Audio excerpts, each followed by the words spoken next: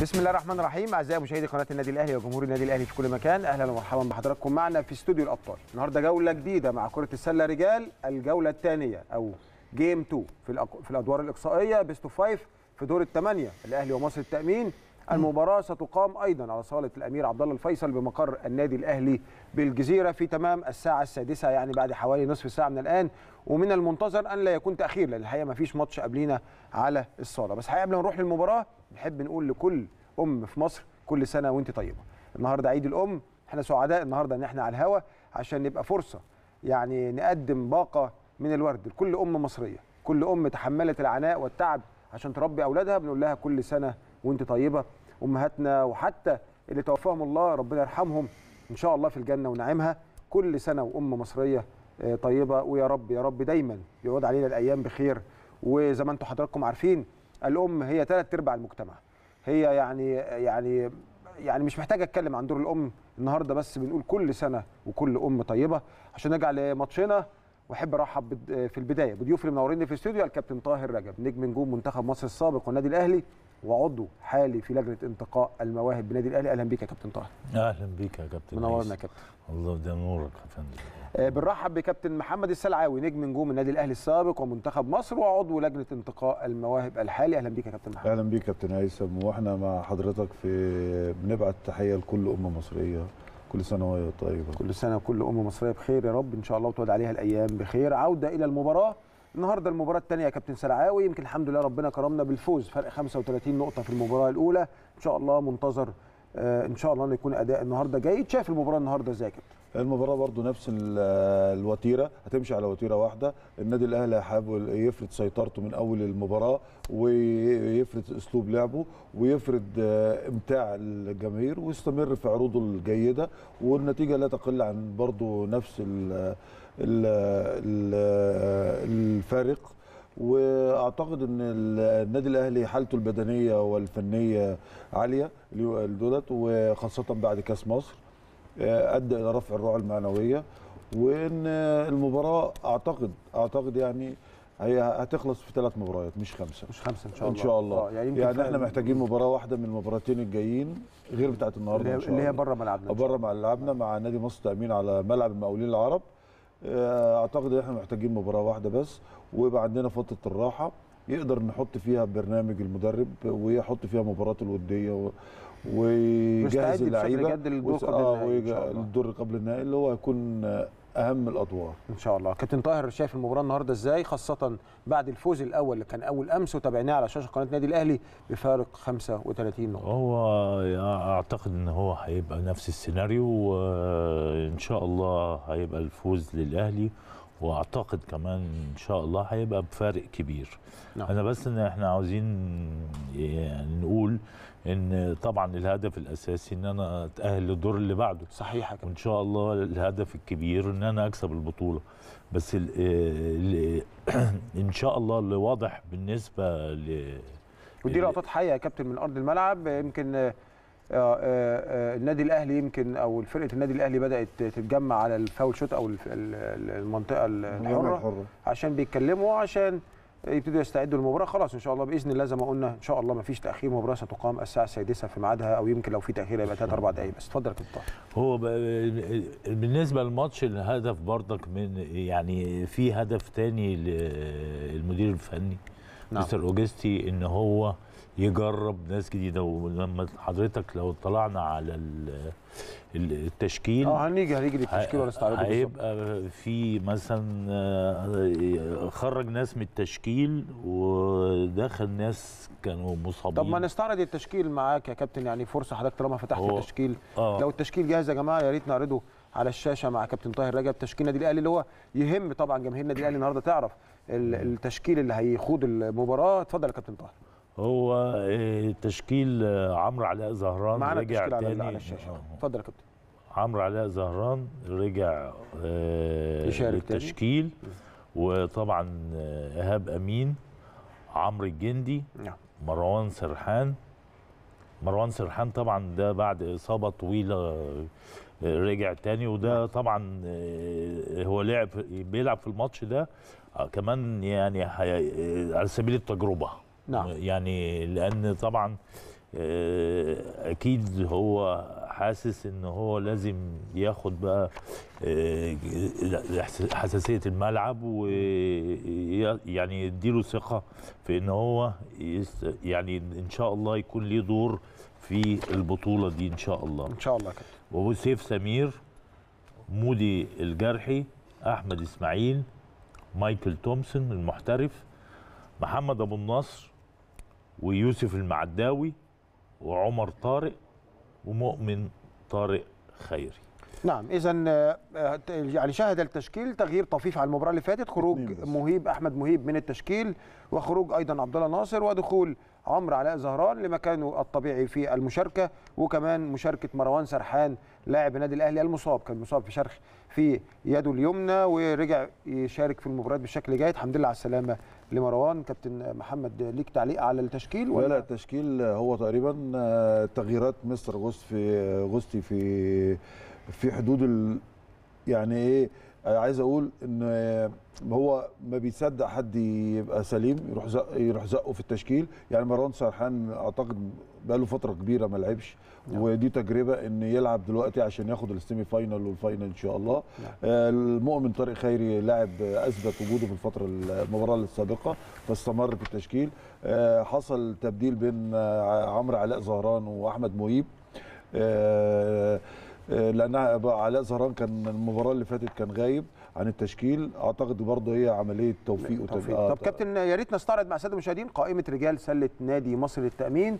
آه، بعد طبعا المباراة الأولى أكيد إحنا يعني استقرينا بشكل كبير على القائمه خاصة انه خروج المحترف وانتقاله لنادي سموحة ولكن النهارده مصر للتأمين عامل فرقة 12 لاعب مصري بيلعبوا. آه، نستعرض برضو مع الساده المشاهدين. اتفضل يا كابتن آه، محمد مصطفى مودي رقم واحد.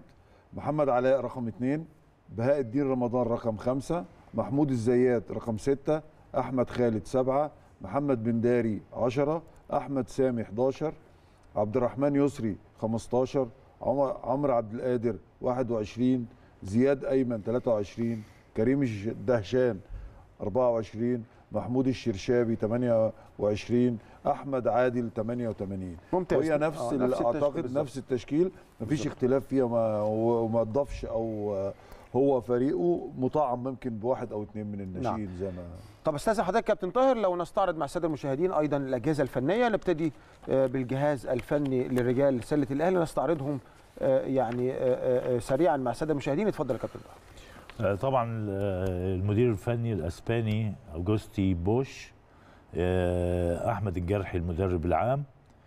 كابتن أحمد الجرحي المدرب العام الكابتن رامي الدياسي مدرب كابتن طارق الغنام مدير إداري آه، دكتور وليد الخراط اداري محمد الشيحي مخطط احمال آه، دكتور هيثم الضبع أخصائي علاج الطبيعي آه، كابتن محمد جاد طبيب الفريق نادر خزام أخصائي التغذية وكابتن علاء لطفي محلل فني كابتن محمد عيسى أخصائي تدليك ومساج حامد الكاس مهمات.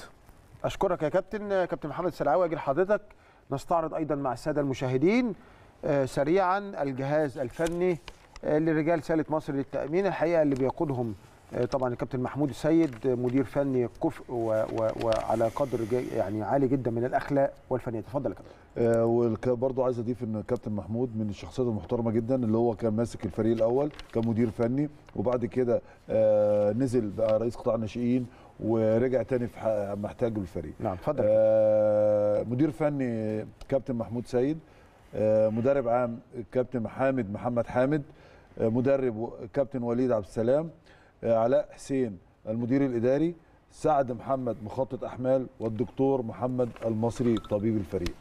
أشكرك كابتن محمد. يمكن ده كان الجهاز الفني ل آه، آه، طبعا الأجهزة الفنية وكمان آه، ال- الخاصة بالنادي الأهلي ومصر التأمين. وخلينا نستعرض مع حضراتكم مواجهات الفريقين. الفريقين السنة دي اتقابلوا أربع مرات خلال هذا الموسم. الموسم الأول أو المباراة الأولى كانت في نصف نهائي بطولة القاهرة وانتهت بفوز النادي الأهلي فرق نقطة واحدة.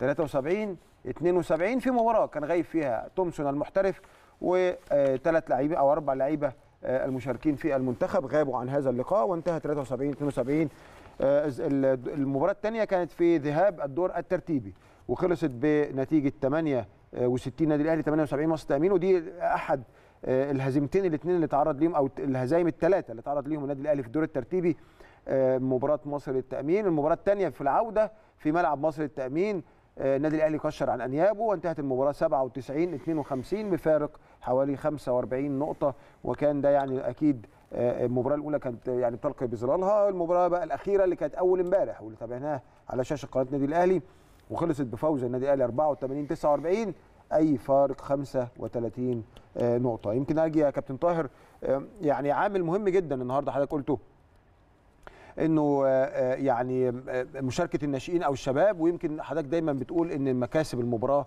ما بتبقاش بس السكور أو ال ال الفارق. النتيجة أو الفارق ولكن في مكاسب أخرى وهي آه، تجهيز اللاعبين تجهيز اللعيبة وهو مش مكاسب المباراة دي بس مكاسب كل البطولات اللي كسبناها إن الناشئين كان ليهم دور وكان لهم دور كبير نعم وتجهيزهم دوا بيبقى حاطط في اعتباره إن الماتشات اللي ممكن يديهم فيها ثقة بيديهم مساحات كبيرة نعم. يعني زي بطولة القاهرة زي قبل كده ذكرنا زي مباراة. النهارده أو زي امبارح. النهارده أو ينور اللي فاتت. بدليل الناس كلها سألت هو فين آه، عمرو. علاء زهران عمرو علاء. زهران لأن هو. كان ليه دور كبير لدرجة إن المنتخب ال- الأول منتخب مصر الأول خد- اختاره خده هو وعبد الله لو ما كانش شارك مع النادي الأهلي بانتظام ما كانش هيروح المنتخب أعزائي المشاهدين خلينا نطلع لفاصل ونرجع نكمل كلامنا. لسه الكلام الفني مستمر عن مباراة الأهلي ومصر التأمين ولكن بعد الفاصل. أهلا بحضراتكم من جديد وبنفكر حضراتكم. اللي مش هيقدر يشوف ماتشنا على شاشة قناة النادي الأهلي يقدر يتابعنا على صفحة الفيسبوك قناة النادي الأهلي أو آه، آه، اليوتيوب شانل لقناة النادي الأهلي. الماتش مذاع في بث مباشر. وخليني بفكر حضراتكم المباراة دي المباراة رقم اثنين في سلسلة خمس مباريات. اللي هيفوز ثلاثة منهم هيتأهل لدور قبل النهائي. إحنا فزنا في مباراة يتبقى أربعة. لو فزنا المباراة دي والمباراة القادمة بإذن الرحمن نتأهل مباشرة لقبل النهائي اللي هيتلعب بعد شهر من الآن عشان مشاركة أحد ال- أو نادي الزمالك مشاركته في بطولة أفريقيا أو تصفيات بطولة أفريقيا فيتوقف الدوري لمدة شهر. أرجع لضيوفي كابتن يمكن مباراة النهارده يعني البعض يظن أنها مباراة سهلة ولكن المباراة يعني يعني ممكن نشوف مفاجآت لأنه آه، 35 بونت الماتش اللي فات ممكن يعمل أريحية للاعبين. ممكن مصر التأمين تبقى نازلة عايزة تعبر عن نفسها وتقول لا أنا موجودة. يعني المباراة مش بالسهولة آه، اللي الناس متخيلها آه، حسابيا سهلة لكن واقعيا في أرض الملعب مفيش حاجة في كرة السلة سهلة. نعم، نعم. آه، الجهد العرق المجهود تنفيذ الخطط آه، وأعتقد إن آه، مستر أوجستي لن يسمح لاحد بان هو ياخد المباراة على محمل ال- اللي مش جدي. نعم. اللي مش جدي ملوش مكان أعتقد بالنسبة لسياسته. نعم. لكن آه، إن إن في المباراة لم تكن صعبة بالدرجة اللي إحنا متخيلينها.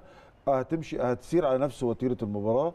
آه، محتاجة دفاع قوي محتاجة سيطرة على. حالتين جدية. محتاجة جدية. آه وأعتقد إن آه، مكاسب الثلاث بطولات اللي فاتوا آه، بطولة القاهرة آه، كأس مصر الدوره العربية أعتقد آه، ما بقاش في حاجة إلا كل اللعيبة واخدين آه، على أربع الجدية بطولات صحيح آه، أربع بطولات جدية ومفيش آه. هزار واللي بي. يعني يعني هم اللعيبة لسه عندها شغف آه. اللعيبة حست إنها الموسم اللي فات يعني يعني كان عندهم حالة من الباد لك وكمان يستحقوا يكسبوا آه. مباريات كثيره ولكن النهارده عندهم الموسمين اللي شغف فاتوا الموسمين اللي فاتوا الموسمين اللي فاتوا عشان يبقى. برضو إحنا صحيح. آه، فهم عندهم يعني شغف وكمان دعم مجلس إدارة النادي الأهلي دعم لا محدود لفرق الجماعية آه، الفرق الألعاب الصالات بالذات. مش كرة قدم بس. ثلاث آه رجال وسيدات دعم غير محدود غير محدود بالنسبة لمجلس الإدارة واهتمام كافة أعضاء مجلس الإدارة بالمباريات وحضورهم ودعمهم آه، طبعا والنشاط الرياضي برضه نعم. آه، يعني أنا اللي عايز أقوله برضو إن إن المباراة سهلة حسابيا. يعني على الورقة والقلم آه لا إحنا أحسن بس لازم كلاعيبة. تترجم ده في لكن الملعب. لازم يترجم في الملعب. صحيح. لازم إن لازم تبقى فيه روح جدية. جدية في الدفاع آه. جدية في الدفاع كابتن طاهر يمكن آه، خلينا أستعرض مع حضرتك. يمكن تف... آه، مين أفضل مسجلين مباراة أول إمبارح؟ كان عمر طارق. كان أفضل مم. مسجلين برصيد 16 نقطة. عمر طارق الم- المباراة اللي فاتت مع مصر للتامين كان هو هداف الفريق برصيد 16 نقطة. يليه إيهاب أمين آه، 14 نقطة. يليه يوسف المعداوي 10 نقاط. النهارده الثلاث لعيبة دول حاطين حوالي 40 نقطة من مجمل ال score وكان. مؤمن طارق خيري حط 8 نقاط. آه، آه، وعندنا عمرو الجندي سبع نقاط أحمد إسماعيل سبعة سيف سمير سبعة تومسون أحمد مهيب بيدو أبو النصر. آه، يعني يمكن الفريق كله حاطط. الجميل الجميل بقى يا كابتن إن أعلى assist كان المباراة اللي فاتت عمرو الجندي. عمرو الجندي تسعة assist. آه. وده يترجم لك إنه دور عمرو الجندي في الملعب مش بس scorer يا كابتن. لا طبعا هو طبعا هو معروف عمرو الجندي بأن هو راجل هداف و scorer على مستوى عالي. ومع ذلك هو دلوقتي بي بي- بيلعب حسب الموقف اللي قدامه. نعم. حسب لو اتمسك فهو بيعمل assist لزمايله. والظاهرة بتاعت إن ال score متوزع ما فيش حد بقى جايب. حاجة و20 نعم point. دي ظاهرة إيجابية وصحية. شايفها إيجابية يا كابتن طبعا مع- إيجابية. آه ما تعتمدش على لأن- لاعب واحد. آه لأن أنت زي الد- الدور يعني كله له دور نعم. في ال 12 وبعدين زائد إن ال rotation بتاع المدرب هو اللي بيخلي إن السكور بيبقى آه إلى حد ما متوزع. ما بين كل اللاعبين. نعم. وبعدين في في المباراة بتاعت النهارده أو أي مباراة آه، المدير الفني بيغير ويدخل ناس جديدة عشان يديها ثقة بس في حدود مش مفتوحة. إنما آه، يعني ما زال آه، عنده الناس اللي هي تقدر تكسب الماتش بكل سهولة برضك وما يقدرش يضحي يعني بيهم أو يعني يعني مثلا إيهاب أمين عمرو الجندي موجود. core team ال core team يعني آه، اللي هم الركائز. الركائز سمير التشكيل صح. آه، عمر طارق مايكل بردك تومسون ليه دور كبير محمد أبو النصر. ففي مثلا يا كابتن أقول لحضرتك أرقام مثلا. في ال- ال- الرمية الثلاثية في المباراة اللي فاتت شطنا 27 رمية ثلاثية جبنا تسعة.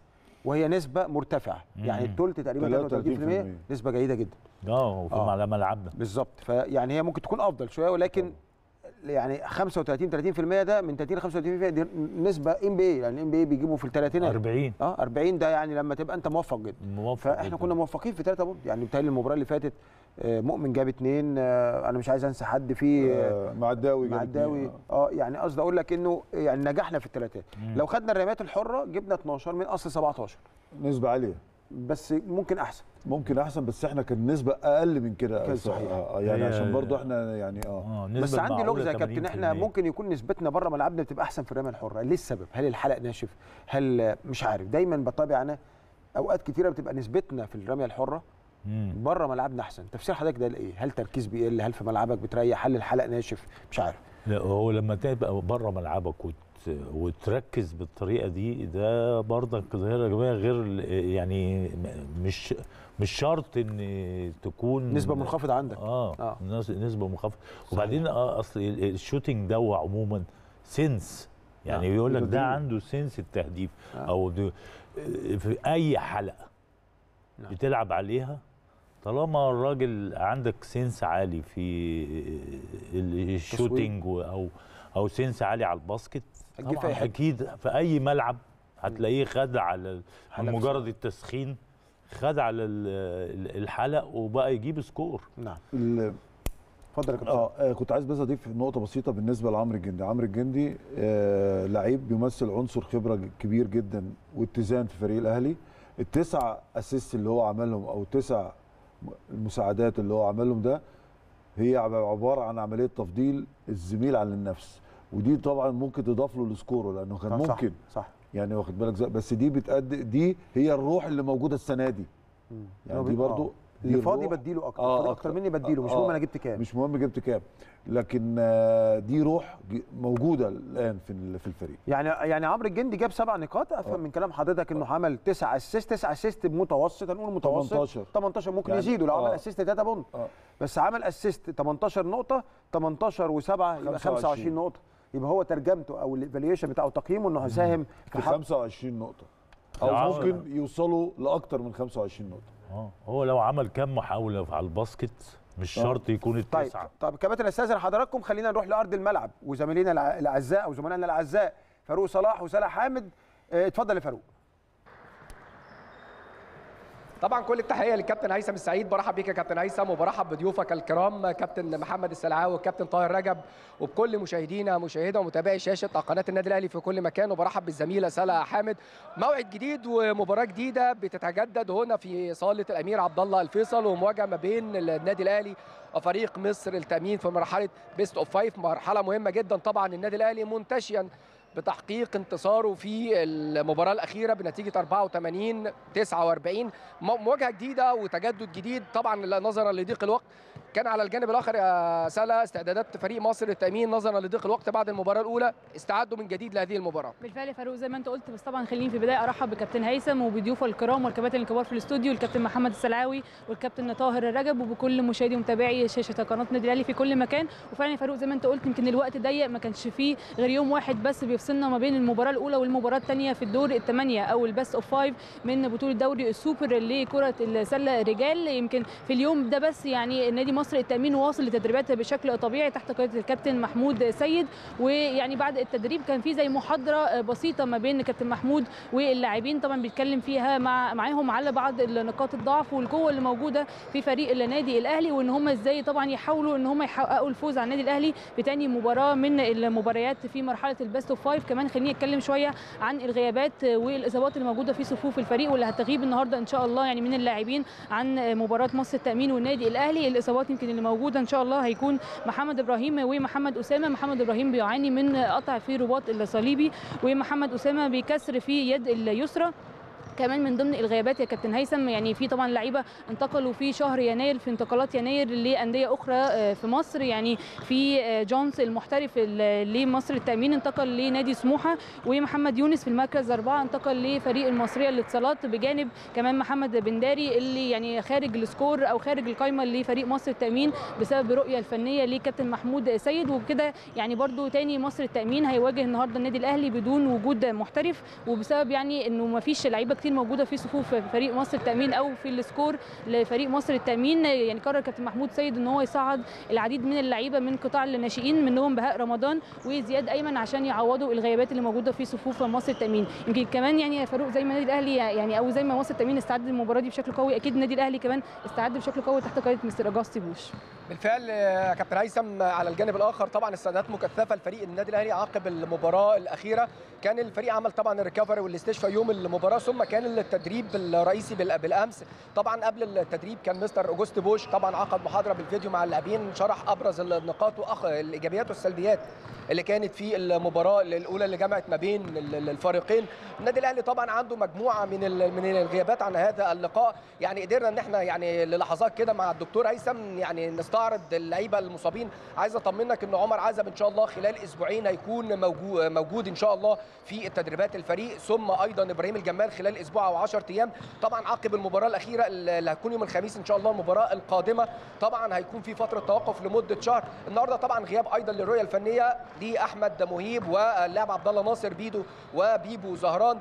طبعا دي مجموعة من اللاعبين اللي بتغيب للرؤية الفنية. هي لحظات هتنطلق المباراة من خلفنا يا كابتن هيثم. دي طبعا كانت معانا كل الكواليس كل الأخبار من صالة الأمير عبد الله الفيصل. من جديد تعود الكلمة للكابتن هيثم السعيد. فاروق صلاح وسلا حامد بشكركم شكرا جزيلا. يعني غطيتوا غطيتوا كل اللي إحنا التساؤلات اللي عندنا واطمنا الحمد لله على المصابين. بشكركم شكرا جزيلا. يعني أخبار جيدة كابتن سلاوي جاية من الملعب. الحمد لله المصابين عندنا النهارده مروان سرحان بيرجع. عندنا عمر عزب أسبوعين إن شاء الله فتره توقف والجمال أسبوع موجود. 10 أيام الجمال. كمان 10 أيام. يعني إن شاء الله ممكن نروح على يا رب يحفظ كل اللعيبة نروح على جي على ال- القبل النهائي وإحنا كاملين. إن شاء الله بإذن الله. إن شاء الله. كابتن طاهر. سريعا أنا شايف خلاص لحظات وتنطلق المباراة. توقعات حضرتك للمباراه؟ أنا أتوقع إن هيكون ال score مماثل للمباراة اللي قبل كده أنا آه. ما أعتقدش لأن طبعا أنت برضه يعني حضرتك لما تيجي عمرو علاء زهران كان قاعد بره أنا شايفه هيموت عايز ينزل فهتلاقيه نازل طبعاً عامل آه. وهم كمان وصلتهم message أو رسالة إن لازم مستر تحارب عشان تلاقي مكان جوه القايمة. بالظبط وبالذات في ال defense نعم وهو يتميز بإن هو بيعمل defense بصرف النظر إن خبراته لسه برضك قليلة في إن هو بيعمل فاولات سريعة شوية إنما هو راجل مشكلة بيأدي defender الدور آه بيأدي آه، دوره. ف- فانا متأكد إن الناس دي عايزة تظهر زائد يوسف المعداوي زي مؤمن طارق يوسف خيري. العدوي الماتش اللي فات عاوز- كنت حاسس إنه بيلعب final مش بيلعب مباراة. ولعيب آه، كويس. آه. لعيب يعني جاب score هو ثالث واحد آه، في التهديف آه، عمل defense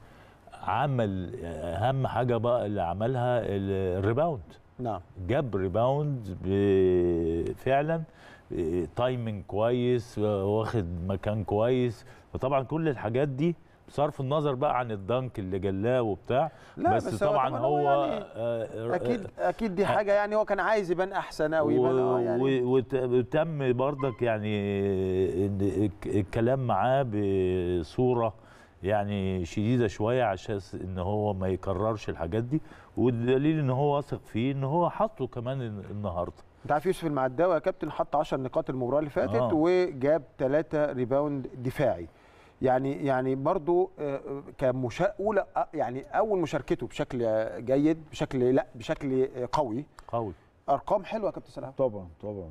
وجاب 3 بونت وجاب أنت عارف كام اسيست عامل عامل 3 اسيست آه. مع الدواء عامل 3 اسيست في السكور شيت أو في الاست- في الاستاتس فيعني إن شاء الله نتمنى لهم كل التوفيق. أنا شايف خلاص يا كابتن لحظات. خلينا نروح لأرض الملعب بقى أستاذن حضراتكم. أعزائي المشاهدين نطير إلى صالة الأمير عبد الله الفيصل لنقل أحداث مباراة كرة السلة. جيم 2 في الأدوار الإقصائية. الأهلي ومصر التأمين مع معلقنا الكابتن أحمد مناع فالى هناك.